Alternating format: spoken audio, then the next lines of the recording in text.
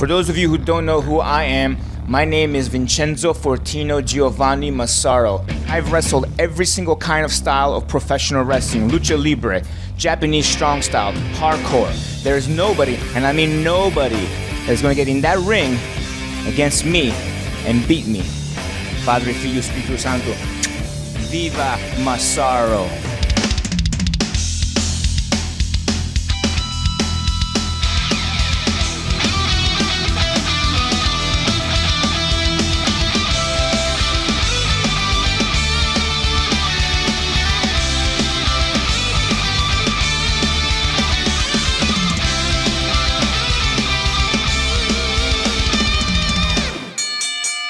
Everyone. Thanks for checking out the Indy Handshake Wrestling Podcast. I am Paul Ponte. I am here with Vinnie Massaro, uh, APW, Lucha Underground, Pro Wrestling Revolution, all kinds of stuff from here and there. Uh, big in the uh, early California indie scene in the 2000s.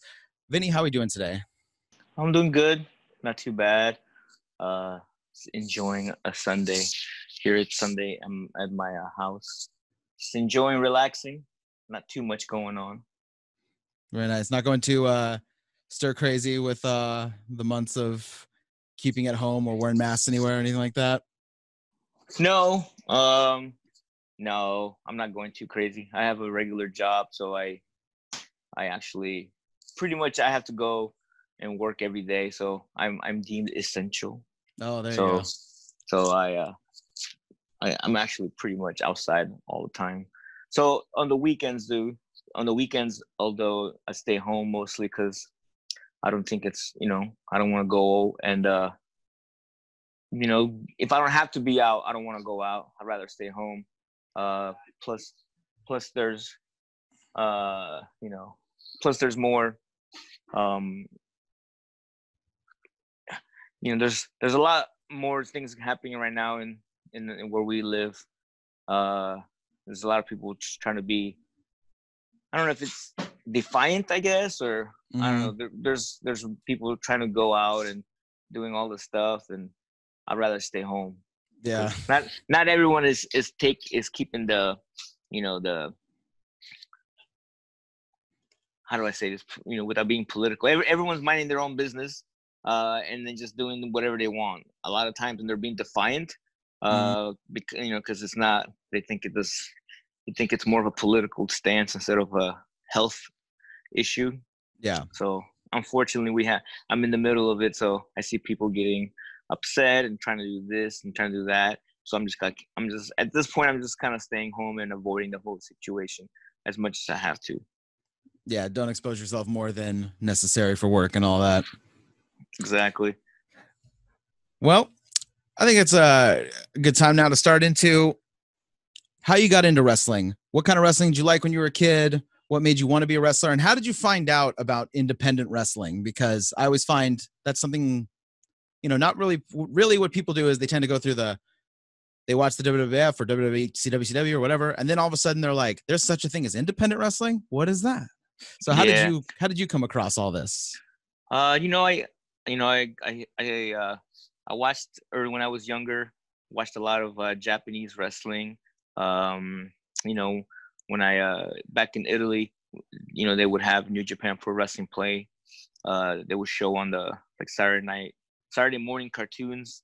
They would show the Tiger Mask cartoon, and then, and then after that, they would show um, New Japan Pro Wrestling. So that's why I started becoming a fan of New Japan.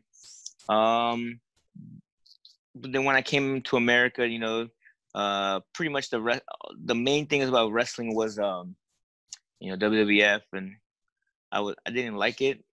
You know, it was a little bit, a little bit too much over the top, and you know, not not kind of my style. So I started leaning towards more towards NWA, WCW. But I think around uh, once I got to high school, pretty much I kind of stopped watching wrestling altogether. Uh, this was about you know 90, 93, 94, 95. Kind of stopped watching wrestling.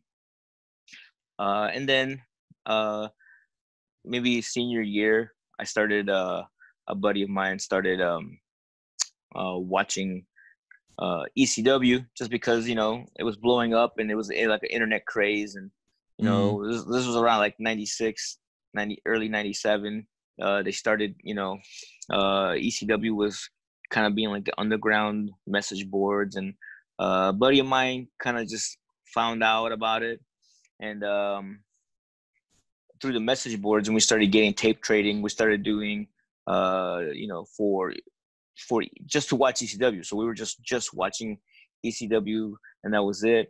Uh, and then you know, obviously, when you go into message boards and try to find out about ECW, because you can't just, you know, there wasn't anything the like how it is now, where you can just you know go on Twitter and find out, find gifts or videos.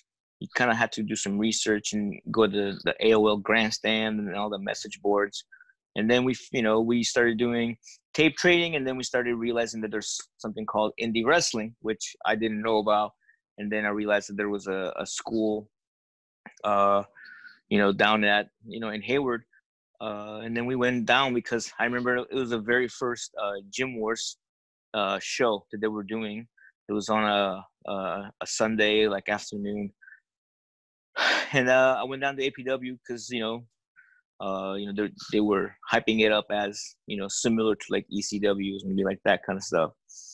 So we went to it, and then you know we talked to Roland. Of course, Roland, Roland being Roland, you know he he tried to set us up to uh, become pro wrestlers, and then mm. the rest is the rest is kind of history after that. Yeah. Would you like to train? Here's a contract. Just make sure you keep paying. yeah. Would you like you could be a pro wrestler? It's like, yeah, just sign here and then, you know, don't worry about it. I was like, sure. And then all of a sudden you're like, holy shit, it's a it's a lot of money. And uh, you owe the, you owe this man a lot of money for a long period of time. But yeah that's a different that's a that's for a whole different story so did you uh consciously when you started because i remember you know you were the you know the innovator uh for me. Like i i was uh, i was a big uh indie mark for you because you used a lot of moves that a lot of guys didn't use. Uh so did that transfer over from watching starting off watching japan when you were younger? Yeah from what a lot of it was from watching japan and then a lot of it was um because yeah. So okay. So most a lot of it is from watching Japan because I watched a lot of uh, All Japan Pro Wrestling and I watched a lot of uh, All Japan Women's. Uh, so you know that came that's where it came from because the you know right when you watch that those kind of promotions you know your your brain starts spinning you know what i mean you're you start thinking about other moves and then the other half is that i play a lot of video games and uh tekken tag you know street fighter um, Mortal Kombat, and I kind of started getting moves from that. Like I would take, you know, I would play video games and stuff like that, and and I was just like, you know what? I wonder if I could actually do that in a ring without completely murdering somebody. um, and I, that's what I would tr- usually try to, you know, go back and. But you know, if because I because I was always, you know, every day I was, you know, get up and always think about pro wrestling. So like everything, you know what I mean? Like I would see like watch like a kung fu movie, Jackie Chan or whoever, and I was like, oh, I bet you I could do that in a pro wrestling ring. You know, I mean, I I, rem- I remember just watching, you know, football and seeing a guy, you know, tackle someone. I was like, oh, I bet you I can do that into this and do that. And you know, even to this day, I still do that. You know, I watch UFC or amateur, you know, just even just grappling, and I can do this. Oh, I can do that into pro wrestling, make it cooler or whatever. Yeah, that's yeah. I, I really thought uh you know, I, I went through like ebbs and flows. You know, when you're a kid, you're like, you watch, well, you watch Jap- Japanese wrestling, you were ahead of the curve. But for me, like, I watched, uh, you know, Hulk Hogan and stuff when I was a kid, and I was like, this is the best thing ever. And then right. I went like, I went like all the way the other way, where I was like, if you did a simple suplex, I was like, ah, bullshit. You need to do something better than that. You know what I mean? That I, I went full, uh, you know, you have to do the craziest moves ever to win me over. Now right. I'm like, now I'm like balanced in the middle as you should be. But, um, did you uh did you find that some people maybe that were a little bit more traditional that you went up against especially in the beginning that they were a little bit hesitant to be like you're gonna drop me on my neck and which way now? Yeah for sure That was i mean that was by far you know when i first you know coming out it was it was very rough because everyone didn't because a, a, lot of back then in the indies you know it was a it was a lot of guys that that were wrestling you know at that time they became pro wrestlers because they they grew up watching Ultimate Warrior and Hulk Hogan. So for them to you know if if you're a fan and if you know if all you watch is WWF, you know Hulk Hogan, Ultimate Warrior, Honky Tonk Man, and then you start wrestling. Well, you know, your finisher is going to be an elbow drop or, you know, just something simple. So when you know when I come out and it's like I want to do this, this, and this, and they're like, "The hell are you talking about? That's crazy." You know, no. That's so there's a lot. Of, a lot of people were just you know they didn't have they didn't want they didn't want anything to do with it. But uh, you know, I got lucky because when I was there, I had uh, Vic Grimes. Uh, me and Vic Grimes trained a lot, and we were always, you know, Vic's crazy mofo. So anything. Yeah, so me and him, you know, so that was I got lucky for that. Then I also got lucky that uh, uh, there was a lot of people that were starting to watch stuff, and I know Crash Holly was one. He, you know, he was wanting to watch. You know, he, me and him were always watching uh, like Michinoku Pro and and stuff like that. And uh, I remember uh, but I think that the two main people that helped me um, on that aspect, probably like Boyce LeGrande and uh, Jardi Frantz. There were the two, those two guys where they, uh, you know, when I wrestled them, it was just kind of like, all right, I do this, well, you do this. You know, it was we were always trying to outdo each other in the in the ring, and you know, I, I think that's one of the main reasons why I, you know, I I got so popular in you know back then in the late 90s and early 2000s because of guys like that yeah especially when you got a guy that's like really uh slender and like flexible then like you can really manipulate them in a move that makes it look even more devastating right and at the same time you know it's uh um you know they, did the same thing you know they were i was a good base for them and they you know they would do a lot of high flying and i would catch them so it was a good match back and forth, and we, we would have. How did you find that the indies changed over the years, especially to now? Uh, how are workers? How do they act? What what what's like the big differences for you? Uh, I think the major difference from now till back then is that um, uh, the there's it's uh you know it's just like anything. It's just I think it's more it's oversaturated um, and uh, there there's so much uh, you know it's just like the, the, you know just like WWE right now there's so much uh, wrestlers out and about that uh, everything is you know they speak through everything. Uh, not, I'm not necessarily saying in the ring I'm saying in their training. Uh, you know there's I like there's way too many guys that uh, now they have a ring or they have a building or anything and they're pretty much they open it up. Uh you know i know like i know guys that have gone through like a two month program of training and then they quit but for you know they get a ring they have money to buy a ring and then just start training themselves based on those two months and then they start training other people um, mm. but unfortunately you know unfortunately uh, the bad problem when that happens is there's bad uh, bad training just keeps trickling down. Uh, you know, bad habits just keep trickling down because that person trained these people. Well, five years later, these people that got trained by that one person, they're training now, and they're just gonna, you know, they keep going down. It's it's um back when I was uh training, there was maybe I think in Northern California there was two two schools Mm-hmm. Um, and you know, and the reason for that is not because they they weren't guys that didn't have rings or didn't have a place. Is because they were like, okay, well, you know, he's he's a this guy is really good and he's a trainer, so you know they're not just gonna go down to this you know this other guy that just got a ring, uh, and because it wasn't allowed, you know. But now I think it's just free for all and anybody does whatever they want. Um, and no nobody's gonna speak out on it and tell them that you, they can't do that because that same guy he's gonna end up uh, booking booking a show, and you know I think guys are too afraid to to talk back to these people because they're afraid to lose bookings. Uh, because somewhere along, I think somewhere along the line, it became, it didn't become uh, a point where, you know, I'm a good wrestler because I have good matches. It became a point oh this guy is a good wrestler because he wrestles 10 times a month or something mm. like that. You know what i mean? Uh, and i think that's the problem is that people started people started uh, taking amounts of bookings uh, or just you know you know followers on Twitter and views on whatever as oh that guy is a, must be a really good wrestler. Mm. So I think that's the issue.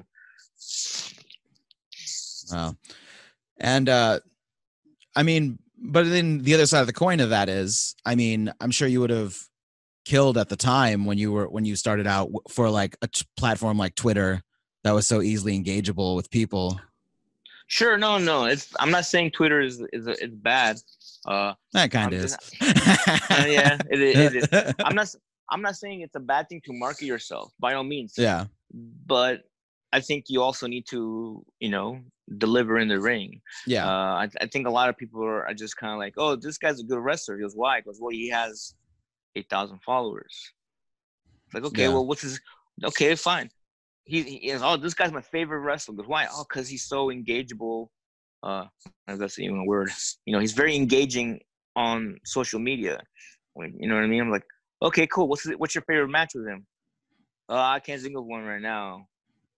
Well, you know, it's like you gotta do be able to do both. Yeah. You know what I mean? I don't know. I just don't like. I don't understand why some wrestlers only uh, choose one or the other. Yeah. Like it's not. It, you know, it shouldn't be that difficult to do both. It's like, what's your favorite match he has? Well, I saw this GIF online of him, yeah, uh, suplexing a guy through a chair, and it was pretty dope. So yeah, yeah. Why is he your favorite wrestler? Oh well, because he, you know, he he he makes funny videos on on on online. It's like cool. Which one's your favorite match? Oh, I haven't even seen him. I've never seen him wrestle. I'm like okay, but you know, more power to them. But you know, any see that's the thing is back then it was you know it's just like in back then it was anything to get you in your foot in the door so Twitter is able to get Twitter, social media, Instagram, whatever you use. That's you know that's being helping you to getting your foot on the door, but it doesn't mean just because you get one foot on the door doesn't mean you're gonna get longevity. You know what I mean? There's plenty yeah. of guys. There's plenty of guys that are like, oh man, remember that one guy that you know that you know got booked? Yeah, what happened to him? It's like, well, he started having matches, and then they realize, shit, you can't you know you it's you know you can't just keep doing you know the same things you know what i mean? You got to actually deliver in the ring because at the, the end of the day you know pro wrestling is pro wrestling is still everything still happens in the ring. You still got to deliver in the ring. Yeah it's like uh it reminds me of i've gone to see a couple of times when uh, wrestlers have decided to do stand up and uh i'll say this the uh the star power the uh you know the fact that you're seeing this guy lasts for about a minute Right. Oh yeah, yeah, yeah. After that, it's like you got you actually do it. You know. Yeah, you actually got to do stand up now, guy. Like you got to be funny. it doesn't work. So like I, that's kind of like a correlation to what you're saying. Like yeah, the social media will get you the eyes, but okay, now you gotta now you gotta actually wrestle a guy. You realize that at some point, right? You got you get you. It's still pro wrestling. Yeah. Like you know, yeah, you you got your foot in the door. You're getting, you know, you got booked because of it. But if you go in the ring and you shit the bed, you're not gonna get another booking out of it. Exactly. So the years you spent at APW, eventually uh APW, some of the guys split off into PWI uh after the the King of Indies. It was a whole, you know, big thing to do in the NorCal wrestling scene.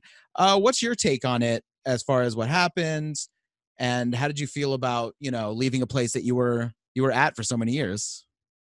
Um well, see, I, I have kind of a, I'm kind of a weird, uh, I was like right in the middle of that thing, which is weird because I right after King of Indies, um, my wife, she got pregnant. So what I ended up doing after King of Indies, I took about a year off from wrestling. I just I wasn't doing I wasn't at APW, nor I was at at uh you know Pro Wrestling Iron. Um, so I just took the, I just took completely, I was just all done. I didn't wrestle, didn't do anything. And at that time, I remember Mike Modest, who's my trainer, he called me. He's like, "Hey, listen, I opened up my own thing. We're gonna have like an open house. You like just come by and say hi?" And I was like, "Sure." So I went by, said hi. You know, because you know, if you're a pro wrestler, you have your trainer. That's gonna, you know, you have you kind of have a a special bond with that person. So, you know, for me, you know, Mike called me. I went down there, just to say hi. I wasn't gonna like wrestle or anything. And then I remember they took a picture with all the people there, and I was in there. And then of course, you know, but it wasn't like I wasn't I wasn't I didn't wrestle for any of their shows. I didn't do any of that. And then I remember I went to uh to APW to to uh, talk to Roland because I wanted to show him a picture of my son. And then Roland was like, "Oh, you're not allowed in the building," you know. He's like, "Oh, I don't know." It's like, you know, I shook, I stuck, stuck my, um, you know, put my hand out, and he like didn't shake my hand. He like pushed me away because he he thought I was with Iron, but I told him I wasn't there. So I left, you know, and I just and I pretty much didn't go to APW. I didn't go to Iron, but I think Mike and Donovan, you know, they they uh they wanted to do it because you know at that time they were getting all these all the success, but Roland was you know taking all. I don't say he was he was taking all the the glory from him, but he he felt like Roland felt like he was the reason why, which which he wasn't.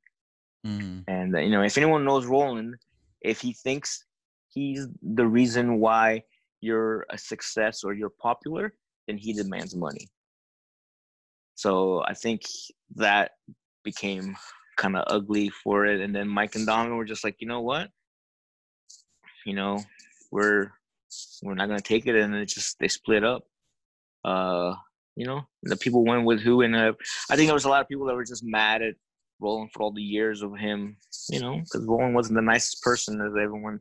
If anyone's ever been at APW, you, you knew Roland was, you know, wasn't the, you know, the, the nicest person to people. He was because he can get away with it because you know he was.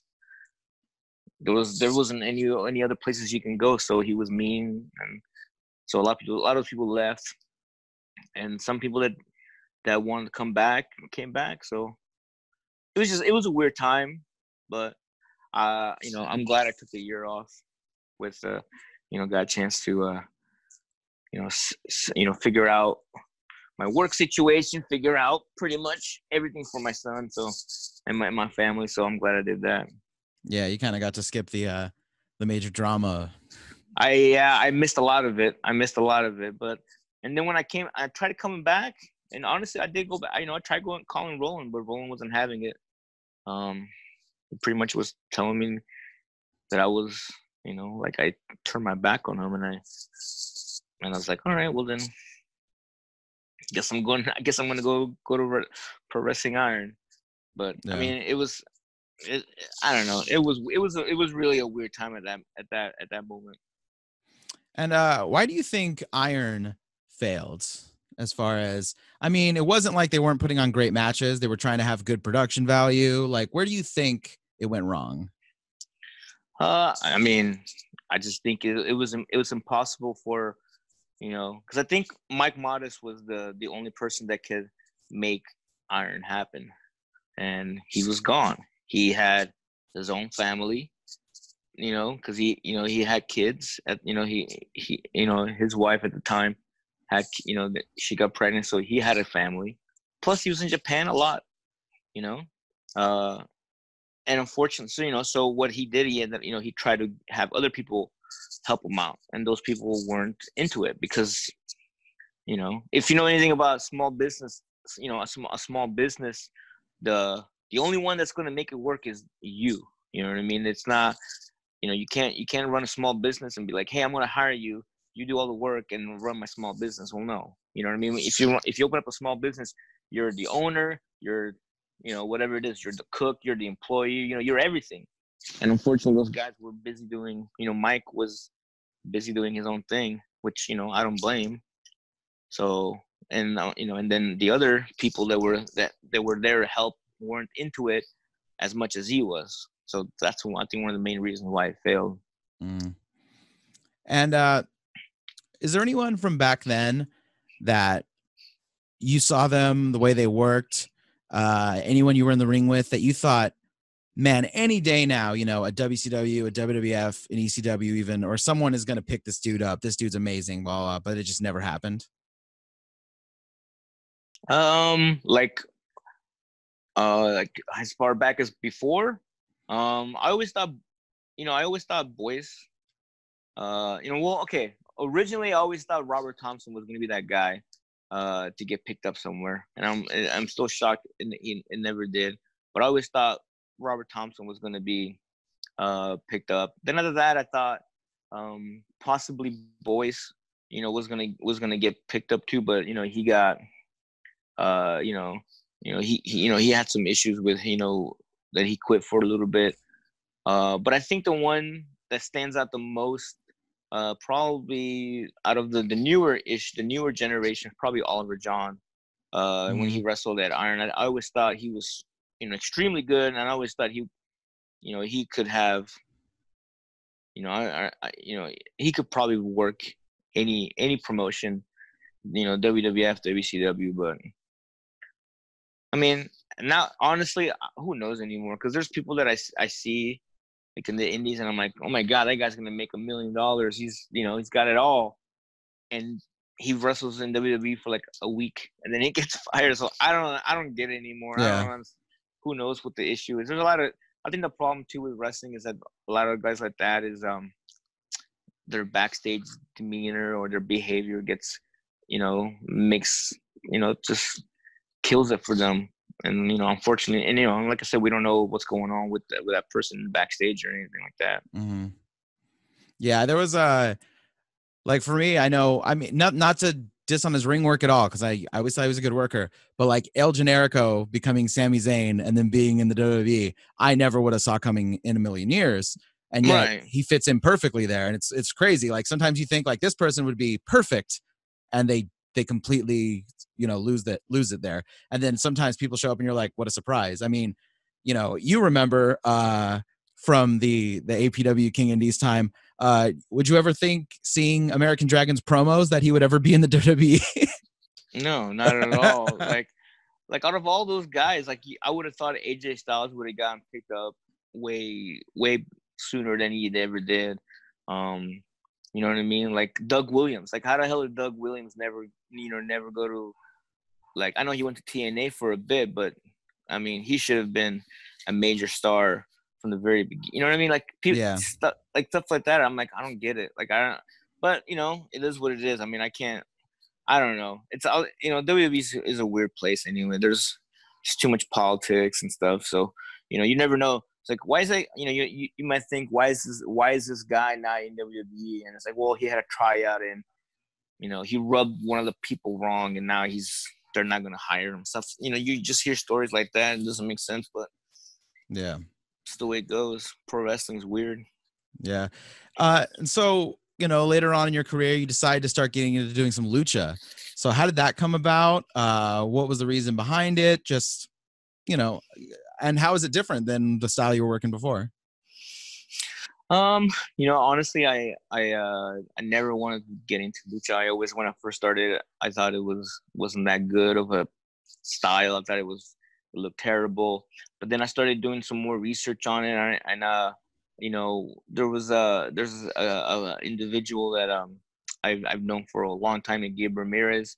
He started a promotion called Pro Wrestling Revolution, and uh, he uh you know I didn't want to I didn't want to do it because it was lucha but then i started you know looking into it and doing more research and i realized that lucha is more you know if you see the good wrestlers the good lucha wrestlers the good luchadors you see there's a lot of uh, submission style. There's you know this thing called llaves which is keys and key locks and you know and it's a lot more ground submissions and locks and holds which i love.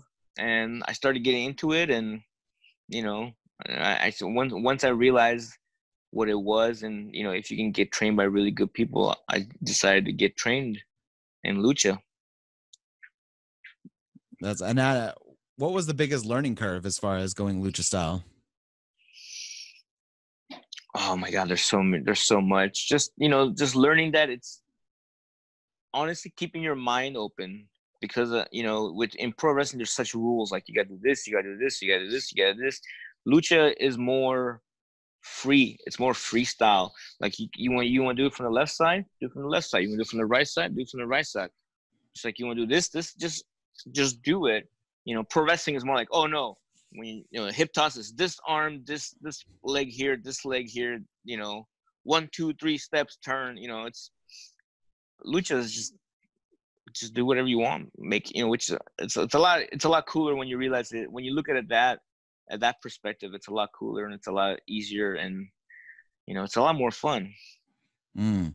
Feels a lot, sounds like it's a lot more like improv as opposed to like regular comedy. You're like exactly, you kind of like yeah. on the fly, do what you want to do.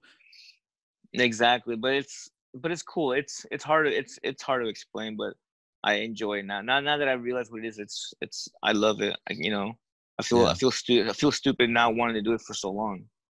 And how would you compare? Uh, you know, part of part of wrestling is working the crowds and you know in different ways whether it's in the ring or on ringside or when you're coming out whatever. How would you compare the you know the regular crowds to the lucha crowds and what are the differences? Uh the lucha crowds are are way more into it. Um they're and they're and they're feisty. They're definitely feisty. They they let you they let you know if you suck and they let you know if you're good. So you know. And if you have a good lucha crowd, it's pretty nuts. They they, they do get pretty crazy. So, um, but and, and at the same time, they're very respectful. They do respect the wrestlers, and they respect the wrestlers that are actually putting, you know, their bodies on their bodies on the line. So they don't they don't disrespect like how you know Americans are like, oh you suck, blah blah, you know you you messed up or whatever. You know in in lucha, it's you know they still respect you for even trying the move that makes any sense. So there's no Spanish you fucked up chant. I'm, sh- I'm sure there is. I just I don't. I mean, uh, they they whistle. It, uh, it, I I think, but they don't they don't whistle for like mess ups. They whistle if you do something like cheap or you know or you know if you cheat. You know, it's it's okay. it's it. You know, it's it's it's it's it's interesting. I like it though. I think I noticed this with the I don't know how much AEW you watch. I think it's I think it's a, based on your Twitter you watch it pretty regularly. Uh, one thing I noticed, and I love I love the way they run stuff, but we were talking about crowds, and sometimes the crowds because they're kind of you know the smart marquee crowd is is a high proponent of people now. They're not doing the like you know someone does a crazy move and no one's standing up and like going crazy. They're kind of just like oh yeah dope. Mm. like, and I don't know. Do, do you think that's kind of like ruining the the experience of watching it like on TV to not see the crowd pop as much as they should be? Yeah, I mean, all these, uh, the, all the no crowd and you know the. I mean, I'm, I know I get it that they have to have a program for, on TV or else you know they lose their contract or whatever it is, and I get it. They have to run shows, but yeah, the the, the no crowd is is man, it's rough. It's really rough to watch it.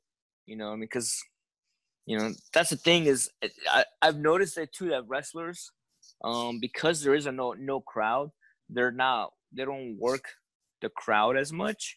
So I think a lot of the matches are um, are being rushed through.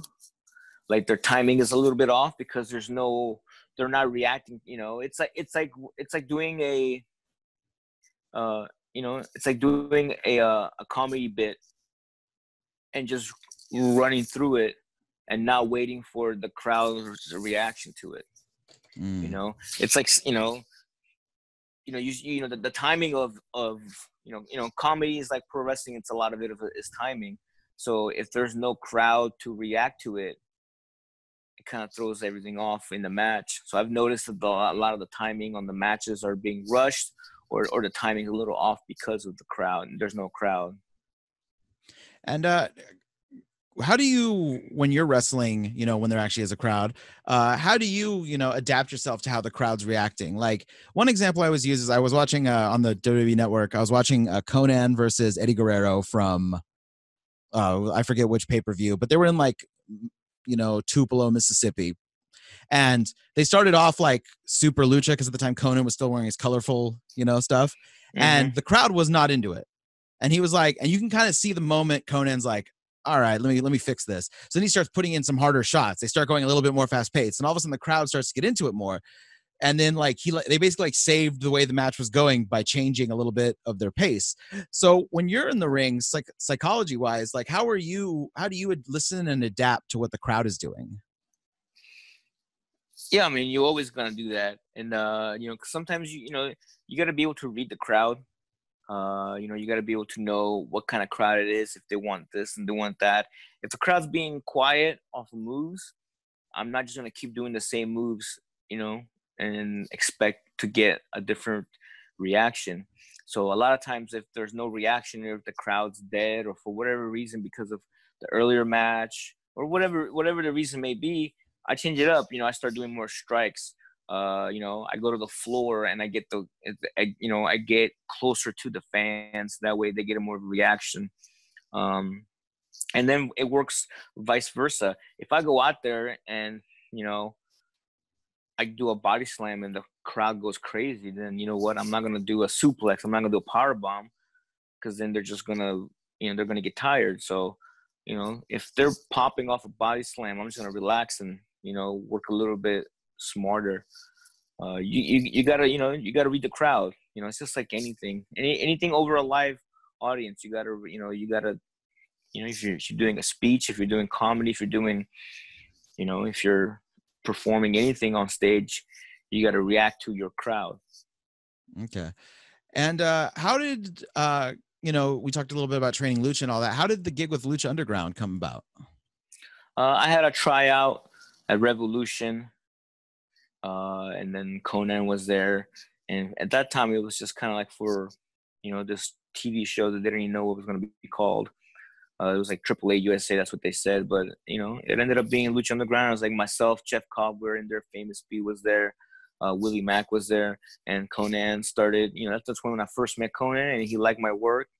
And then later on, I went down to the Lucha Underground tapings and Konnan introduced me to all the, the writers and pretty basically anybody that I needed to, you know, meet. And, um, you know, just you know, one thing that led to another, and then I got a, you know, pretty much they, you know, they saw something and they gave me a shot, and then once, uh, you know, they enjoyed my work, and I got, I got a contract out of it, which is amazing. Yeah. Who would have thought? Who would have thought my my dumb ass would be a lucha, being a get a, a lucha contract? Is that yeah? It's pretty crazy that like the most televised like thing of it was a lucha thing based on how you thought about it, you know, before. Right. Exactly. But you know, that's what I'm saying. Shit happens in pro wrestling. You never know what's gonna happen. Yeah, that's the business, I guess, right? Right. Uh, all right. So um we got a little section here called uh, take it home uh, basically i got a bunch of questions to ask you uh, they can be a little bit more rapid fire or if you feel like it prompts you to tell a story feel free to do so feel free to digress not a big deal okay what's your favorite move or hold that you've never used that i've never used uh, probably uh, a shooting star press because I can't do it. um, but you did a moonsault though. I did a moonsault. That's close enough. But I think I think shooting star press is, looks amazing. It's like the, it's like one of the most beautiful moves in pro wrestling. But I will never do it. There's no fucking way in hell I'll ever do it. Yeah, and there's like you know like uh, a PAC does the the black arrow or whatever, where it's like you know you're yeah, like so many. I couldn't even imagine. I, yeah. like I couldn't even pretend to do that. Maybe in a like in a big foam like pit or something, but there's yeah. just no freaking way I'm doing that in the ring. But even like something that complicated, I still think like a shooting star press is the more gorgeous move because it's just yeah. so fluid and exactly. Yeah. Um, what's the craziest fan interaction you've had? Uh, I remember one time at an APW show. it was actually kind of funny story. There was a there was a, a, a, you know, of one of the like a, a worker that uh, what do you what do you call it for um, you know, for our uh, you know, mentally ill patients. Mm-hmm. I guess they were uh, they were uh, sh- they brought in like a bunch of you know uh, uh a bunch of um uh how do I say it? Oh my god, I can't patients? think of it right now. Patients, yeah, they brought in yeah. a bunch of patients, you know, just to watch the wrestling show and then I uh, I got thrown out, and two two of the the you know the the gent the the guys, um, they threw um hot coffee on me while I was out in the ring. So that was pretty crazy. What's uh besides trying to hurt you? What's the worst thing someone can do when you're working with them in a match? Oh my gosh. Uh not listen. Oh, and uh would that just be like to how the match is supposed to go, or Just they're not it's just listening to what you want to do? everything. Just trying trying to trying to make their own, you know, trying to do their own thing. And uh does that happen often in wrestling, or does it Sometimes, sometimes, sometimes? It's just when- it's just when, when people they just want to go. It, it call they call it a go into business for themselves. Mhm. Um, but And have my you son- ever? my son's eating Doritos and making noises while I'm trying to record a Oh, podcast. it's totally show. fine. He's like, And- "Hey man, hey," my, he looked at me like, "It's t- it's time for Doritos." Doesn't matter. I don't care what kind of podcast you're on. I'm making. I'm eating Doritos. we digress. Let's keep Yeah. going. Um, and uh, has anyone in the ring uh, gotten a little snug and you had to get snug back in a way that you didn't really enjoy having to do, but you know, you got to do it. Yeah, I mean, you. I mean, you. You get taught at an early time to um, always gotta protect yourself. Um, you know. So yeah, there's been times at that. I'm not gonna give. I'm not gonna give them a shout out because I don't want to give them a. I don't want to give them the you know the the happiness of knowing that they got to me, but yeah, sometimes that happens. You, know, Mhm. you always gotta always gotta protect yourself. You know. So, but the, it, it does happen a lot. And when you got to give a shot back, what's your go-to move? What's your uh fore, forearm, the forearm, straight, just straight up forearm to the to the to the head, or you know, let letting them let letting them know it's time to relax. okay? um, uh, was there ever a time that uh you were in the ring and you were legitimately surprised by a worker, uh, whether good or bad? Basically, either you heard you heard great things about them and you worked with them and thought, oh, this is this guy. No, I don't like the way this guy works at all. Or opposite, maybe you heard some bad things about someone and you worked with them and you were like, no, this dude's really good. I like the way he works. He's crisp. You know that kind of thing. Surprise, and that I was surprised. Yeah. Um, yeah. I mean, honestly, I think one of the main. I remember wrestling uh, Jeff Cobb, one of the first times wrestling Jeff Cobb, and I and I, I just never. Re- I guess it was very shocking to me how just strong he was. Um, like he was literally like just you know the way he picked me up. I was like, holy crap, this guy's unbelievably strong. And his, you know, obviously amateur wrestling, so he has a, you know, he had a very strong grip. But I think that was one of the major ones where I was like, wow, you know, it's um, uh, yeah, you know, that he was like just not shocking me, but I was like, holy crap, he's he's a really good wrestler and he's um crazy strong. Yeah, I was watching uh the other day. I was watching uh one of the matches from Battle of Los Angeles, and he like deadlifts a guy. He's like standing on the middle rope, and the guy's Mhm. outside on the outside on the uh, apron, and he just deadlifts him up into a superplex. And I'm like, what What are you like? What is this? that is, he's he's that he's that freakishly strong. yeah. Um, has a booker ever tried to stiff you on money all the time. all the time? All And the how- time. And how do you react? How do you respond? What do you do? Uh, you you when when when that happens, you kind of just assess the situation, and you're like, you know, it's kind of like that part that that movie, uh, A Bronx Tale, uh, when you know you know when they're talking about how that guy owes you money, and you go and you try to keep asking for that money, or you just forget about him, and and you know you're never gonna you're that guy's never gonna bother you because he owes you money. He's gonna avoid you. So sometimes I'm just like okay, do I want to come back here? Do I want to keep pursuing this? And then I'm just like, you know what? Screw it. It's a crappy place. I'm never gonna wrestle here ever again. So I just kind of like, okay, bye, and I walk out, and I we don't speak to each other ever again because he I know he's not gonna call me up because he owes me money. So. And you know, sometimes I just kind of take like that, but it's sometimes you know it's a principle, and I just kind of try to, you know, I keep going after the money. You know what I mean? Yeah. And uh, what's the best mistake you ever made in wrestling? The best mistake. Yeah, something that you did. It was a mistake that in your career, but it led to something great, or it did something great for you. Oh man, that's a tough one. Uh, the best mistake I ever did. I don't know. I don't know. That's a that's a tough one. I'm gonna have to think about that one. Okay. Um, that's uh, what? The, I mean, I guess.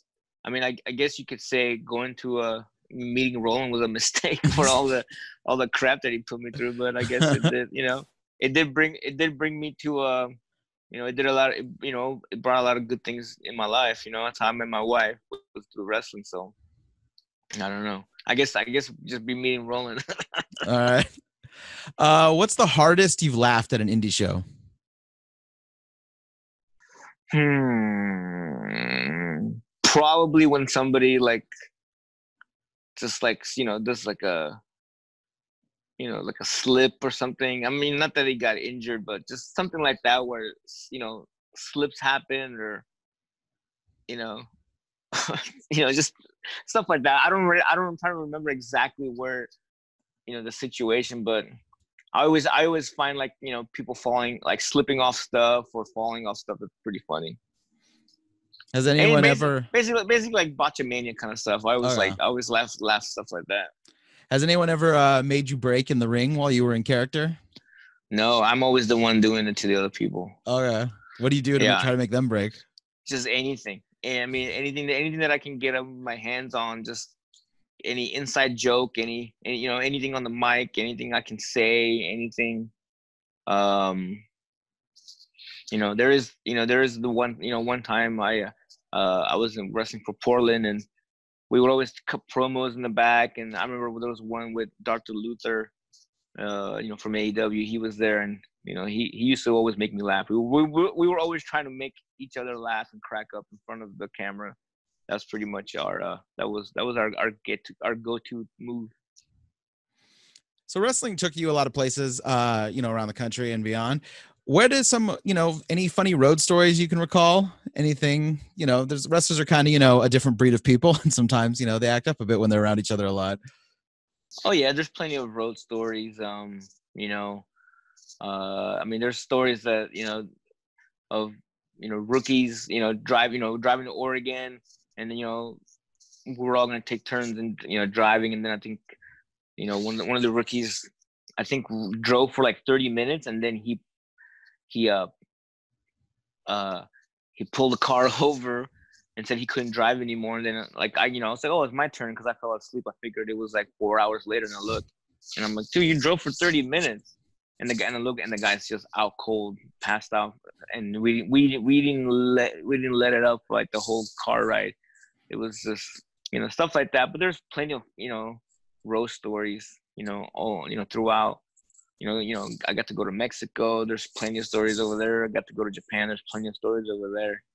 How was it going to Japan? You know, being a person who grew up, you know, watching Japanese wrestling.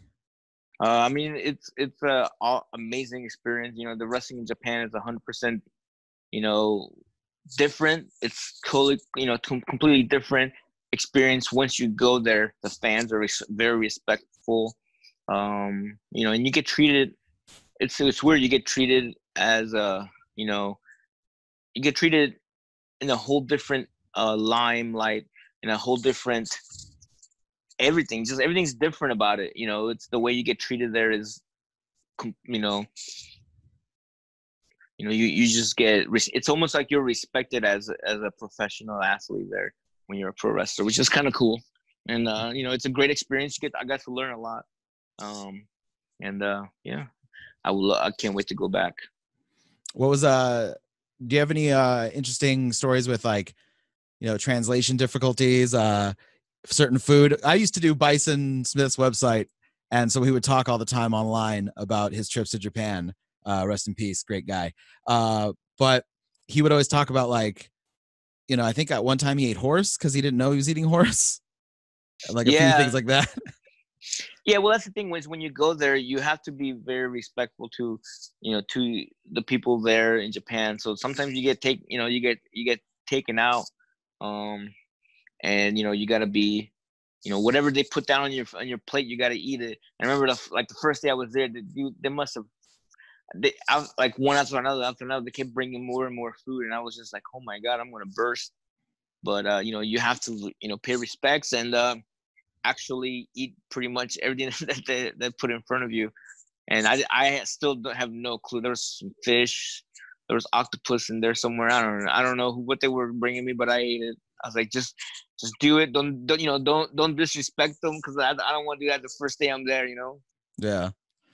And uh, so you know, multiple countries, multiple states that you wrestled in. What's the worst gimmick you've seen at an indie show? The worst gimmick I've ever seen in an indie show. I remember the one of the first, like the first year I was uh, refing. I did, I, I refed. It was like a small little show, and there was a uh, an individual. He came out. Uh, you know, he was he looked like um kind of like gorgeous George um, like all flamboyant, you know, like a you know pink, you know, like you know pink boa, pink everything. and his name, I still I still remember it was the funniest name ever. He was Superfly Jimmy Schnookums. and, but but he would come out like all flamboyant, like, and he was like, you know, like I don't know if he was really gay, but he came out like it's a gay character. So that was a fun. I'm like, dude, that's so bad. I'm like, dude, why would you? Why would you do that? It was so funny though. I couldn't oh, stop laughing, but I was like, man, why would you do that? You're gonna get, you're gonna get met. Like if Jimmy Fry, if Snuka really knew what you were doing, he'd be so pissed. Well, you obviously you've worked at shows that have name guys on there. You know, any former WWF, WCW, ECW, any guys that uh, you worked with, and like I said, you don't got to name names, but they thought they were bigger than the show. They acted like they were bigger than the show just uh just you know any kind of like disrespect or anything like that from any guys who are quote bigger in the business oh yeah i remember I remember one time we did a show with uh virgil from the uh you know from you know from million dollar man but at, at this time he was vincent from the nwo and I remember he showed up and he like looked at the list of all the wrestlers and the in the booking sheet and he was like i don't even know who half these fucking guys are. I'm the i'm the biggest star here. And i was just kind of like dude, like you're Vincent, like you're like literally Virgil, and like I mean, come on, dude. And he was just he kept saying like every eh, like he was watching the matches and oh this match sucks. You guys don't know how to work, and I was like, oh my god, please get this guy out of here. Was this in San Jose? It was at a. It was like at a fair, like a oh, fairgrounds. Fair? Okay. It was like a because we it was like they didn't they didn't book we didn't book them. It was like somebody booked us, and like Tatanka was there, and mm. like, but I was just remember like, why is it?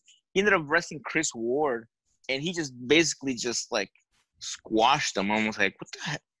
I'm like, dude, is I go like Virgil thinks he's literally like Hulk Hogan. I'm like, dude, calm down. Damn. Um, any uh funny pranks or embarrassing stories? any funny pranks or embarrassing stories? Uh, in, in like the in on in pro wrestling, like that I've yeah, done. like in the indie scene, yeah.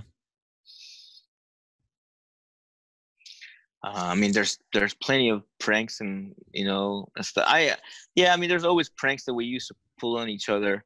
Um, you know, just you know, but I mean, just they're all inside jokes or stuff like that, or you know, you know nothing i mean just you know just normal stuff like we would do um uh you know it was basically it was it was all inside jokes that we would try to make everyone crack up but mm. nothing like nothing major like it's it's it would be too hard to explain to you guys about oh, yeah. it was there any uh especially when you you know were in the business for a while and you were, were in the, with the same group of guys is there anything that you would you know any kind of ribs that you could pull on you know newer guys that were just starting out you know younger guys who were training or anything like that?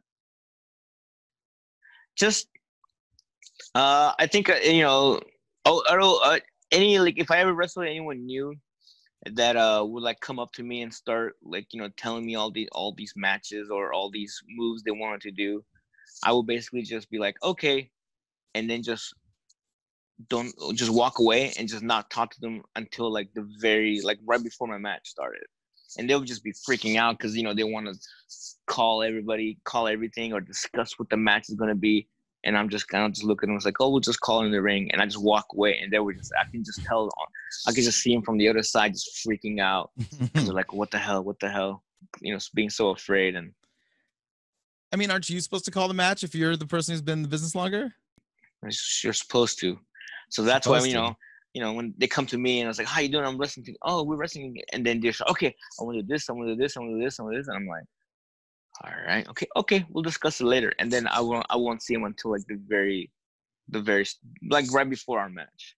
Like I'll make sure to, I'll make a, a conscious effort to disappear from him. and they're just, and they're just freaking out. There you go. I like that.